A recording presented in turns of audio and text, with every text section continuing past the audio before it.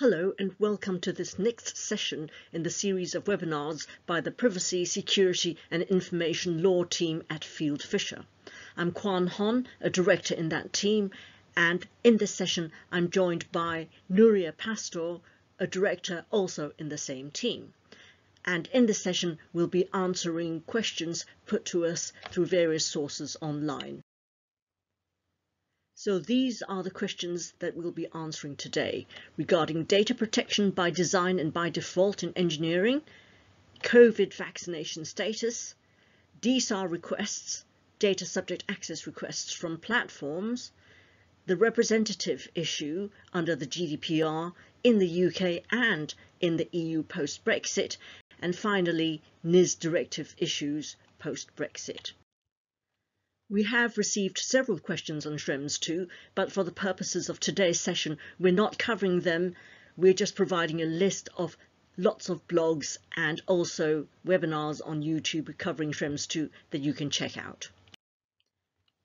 This question is about how to integrate data protection by design and by default into product design when the engineering department works in two-week sprints. The first point here is that, yes, it's important to train engineers on key issues regarding data protection by default and by design, and indeed GDPR more generally, but they should be trained from an engineering rather than legal perspective. For example, throughout the data lifecycle, data minimization is very important. Collect the minimum amount of data. Access, limit access to only those who need to access the data. Storage limitation. Store the data for the least amount of time for which the data is needed, deleting or anonymizing it when it's no longer necessary for the original purpose. Bear in mind granularity where possible. For example, tagging sensitive data so you can find it easily and quickly. Associating expiry dates with particular data so that you have a flag or an alert to let you know when it should be deleted so you can consider whether to delete it. Logging as much as you can, particularly, of course, access to data, and throughout security for all this data. But that said, engineers should be aware of some key legal aspects. For example, a lot of technical people tend to treat everything as the same. We're all one big company, one group, everything can be mixed up. But in fact, legally, different legal entities are treated as different persons within the group. And so it does matter whether it's one legal entity, one company's data, and then a sister or parent company might actually be storing it for them, and the server might be owned by yet another company. These differences do matter legally. Also, the physical location of data and where the backups are located. That's also important. Does any other company or third party have remote access to the data wherever located? That's also important, um, for example, for support purposes. And also, which legal entity in the group holds the contracts with third-party vendors that might be involved in hosting or processing the data, that also matters. And of course, don't forget that the so-called cookie law is also relevant when engineering, particularly, of course, websites, but also mobile apps. At the start of every project, make sure you involve the data protection officer, if any, and certainly data protection experts, and make sure you follow their guidance on the particular project because it does make a difference whether, for example, the company that is engaged in the project is a controller or a processor under GDPR data protection impact assessments might have to be conducted and certain mitigating measures have to be taken and so on. And throughout the project, make sure you maintain the lines of communication to the data protection officer and to the legal expert, to the privacy team, to the security team. Keep them involved throughout. Make sure you ask queries wherever you're not sure about certain aspects. And then with all this, the length of individual sprints shouldn't matter. This question is about whether we can ask individuals information about their vaccination status to allow them to come back to the office or even as a condition to access a job.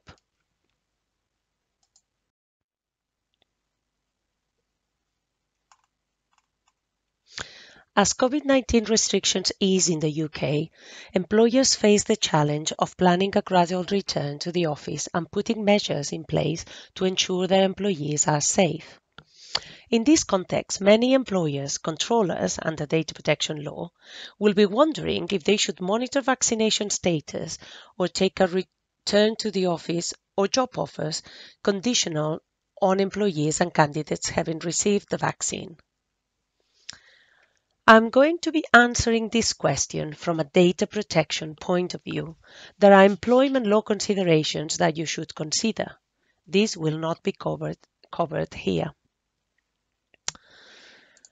From a UK data protection standpoint, collection of employees' vaccination status data will be lawful provided that there is a clear and compelling reason to do so.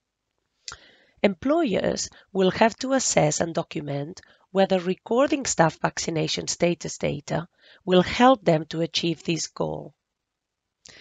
Employers in certain industries, for example, health and social care providers, will be more likely to demonstrate that these activities are lawful as their employees are more likely to be in contact with patients infected with COVID 19 or with vulnerable people who could become infected. However, employers in other industries or settings may struggle to justify such measures. Employers will have to assess compliance with a proposed scheme with the principles of necessity, proportionality, and fairness. Necessity. Employers will have to ask themselves whether the information is necessary and whether employers can achieve the same result without collecting that personal information. With regards to proportionality, employers should consider blanket schemes, which are likely to be proportionate, versus targeted schemes, depending on their business and workforce. The third principle is the principle of fairness. Consider any potential negative consequences for individuals, for example, the impact on those who cannot have the vaccine for medical reasons or simply because their age group has not been, been invited to have it yet or do not wish to do so. When planning to process vaccination status data, Employers should put measures in place to comply with the key data protection principles that are set out in the UK GDPR. All requirements will apply, but we would like to highlight the importance of being transparent with employees and keeping the data protected. And also to keep the data that is processed to a minimum. Employers must also process data for only for the purposes for which it was obtained. The risk of scope creep in such fast-paced in such a fast-paced environment is also great. So employers should be careful not to process data for further purposes. Furthermore, employers must ensure that they document the measures that they implement in compliance with the accountability principle by, for instance, carrying out a data protection impact assessment and setting out a vaccination status policy which identifies the scope and extent of the program. Our advice above is underpinned by the stricter restrictions set out by data protection law to the processing of special category data, as COVID-19 vaccination status would be because of the sensitive nature of the information.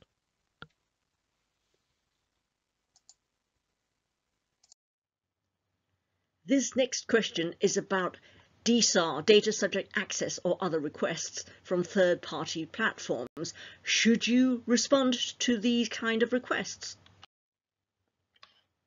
Now, the intention of allowing third parties to make data subject requests on behalf of the data subjects was to help out data subjects, but that doesn't mean there are no risks with the use of such platforms or portals. Some of them even take the data that's received and use it for their own purposes. But even with reputable platforms, it is possible to refuse to deal with the request made by the platform or portal. If you don't know who the individual is that it's about, you can't verify the identity, you don't have evidence that the third party is authorized by that individual to make the request on their behalf, then you can refuse the request. Time doesn't start running, your, your period within which you have to answer the request, unless and until you know all that information. You can also refuse to deal with a request, at least under ICO guidance in the UK, if you would have to click on a link in order to take it forward further and, and, answer the request. Because of course it's a security risk to click on unknown links from unknown sources. Also, if in order to deal with the request, you have to create an account with a third party or pay or take other proactive steps, then according to the ICO, you can refuse to deal with the request. But in that sort of situation, you should contact the data subject directly, if you know who they are, of course, and give them the information where possible. If you can't, then explain the reasons for the refusal and offer to give them direct assistance if they get in touch with you directly. If you are a controller based outside of the EEA, but subject to the GDPR by virtue of its extraterritorial effect, you will have to appoint an EU representative. After the end of the Brexit implementation period on 31st December 2020, your EU, EU representative cannot be located in the UK because the UK is not no longer in the EU. You will have to appoint your EU representative in another EU member state.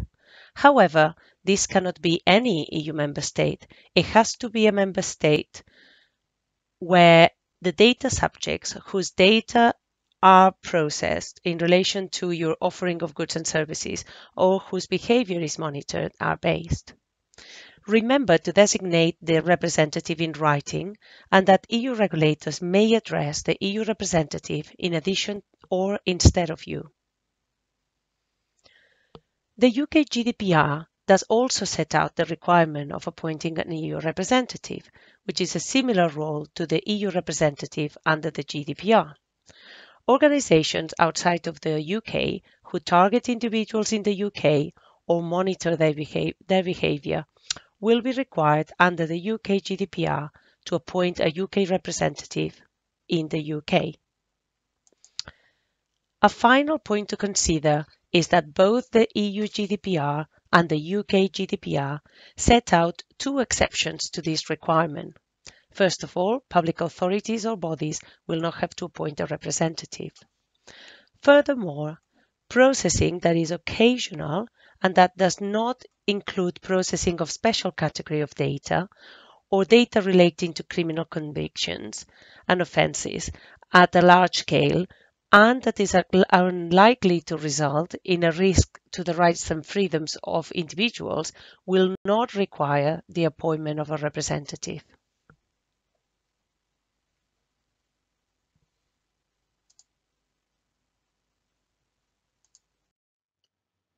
This final question is about the NIS directive, the Network and Information Systems Security Directive. What do you need to do about appointing a NIS representative in the UK or indeed in the EU post-Brexit? Do you have to care about the NIS directive anyway? Just by way of recap, the NIS directive was implemented in the UK under the NIS regulations and it's still in force in the UK post-Brexit. Now, the main intention of this directive and the UK regulations was, as far as private parties are concerned, to impose security measures and incident reporting requirements on two classes of services. Essential services, basically critical infrastructure in certain sectors, or digital services. And both of these types of organizations, essential services and digital services, are subject to requirements regarding security and regarding incident reporting. And the difference is that for digital services, there was meant to be more of a lighter touch ex post approach to enforcement. This is a directive, so there are national differences. For example, in terms of fines, the top fine in the UK is 17, million pounds, whereas, for example, in Germany, it's 50,000 euros. So quite a lot of differences. I would also add that digital services are not everything that you think of as a digital service. Digital service for this purpose is only cloud computing service, online marketplace or online search engine. So turning to the UK, post-Brexit, if you offer a quote-unquote digital service in the UK, you have to appoint and register a UK representative with the UK Information Commissioner's Office. And you should have done this in April 2021 or three months after first offering services in the UK. If you previously had registered a UK establishment with the ICO, then you might think, well, there's no need to appoint and register a representative, even if your head office is not in the UK in practical terms. I'm not going to talk about essential services because there's no time, just digital services. Moving on to the EU, if previously you had your NIS main establishment in the UK for a one-stop shop purposes before Brexit, then that meant that you would answer only to the UK regulator. Obviously, the UK is no longer in the EU, so you'll have to have a main establishment somewhere else in the EU if you want to answer or continue to answer to just one NIS regulator in the EU. So for NIS purposes, you do have to decide if you offer your digital services in the EU, where should you have your main establishment? Where do you have your main establishment? Can you do anything to do that rather than be subject to action from uh, enforcement action, I should say, from all uh, possible regulators under NIS in the EU? Now, some people might say, well, I'm not that bothered about the NIS directive. I haven't heard of any fines so far. Just because you haven't heard of fines doesn't mean there haven't been any. Um, they're not publicising necessarily fines that have been imposed under the NIS directive because all of this is considered um, national security related in many ways, critical infrastructure, digital services that underpin particularly critical infrastructure or other important economic or societal activities. Also, another aspect that's relevant is that the European Commission is beefing up the NIS directive with what's called the NIS 2 directive that will replace the NIS directive. And that was just proposed in December 2020. Uh, it probably will be a few years before that's in force, but that is broader. It's going to bring more companies or types of companies into scope like data centers. Um, cloud computing is moved from uh, what was digital services into essential services. Digital services becomes important services, so you have essential and important services, and social networking services will become important. So um, this is broader, it'll be tougher because there will be GDPR level fines, at least at the lower tier. Uh, so just generally, if you are prepared under the NIS directive, you're going to be in a better position to comply with the NIS 2 directive when it comes in with its tougher fines. Thank you very much for listening to our Q&A session and for sending your questions. Goodbye.